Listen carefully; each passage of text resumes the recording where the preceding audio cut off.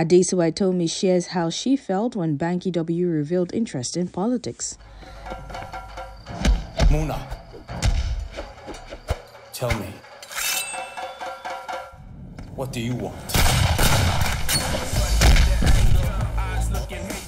The actress has revealed how concerned she was when her husband Banky W wanted to delve into politics. Bankole Wellington, also known as Banky W, earned the ticket to run for a seat in the House of Representatives in the 2023 general election. Following the elections, he was defeated by Labour Party candidate Thaddeus Attah. In an interview with HIP TV, Adesua discusses how events developed and how she reacted when Banky W informed her that he was entering politics. Um, like anybody that love somebody. When Banky said he wanted to go into politics, I was a little bit worried, and he's talked about this many times before. But I also believe that purpose is more important than fear.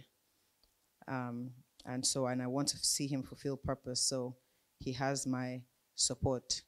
100%. You want show, show, show.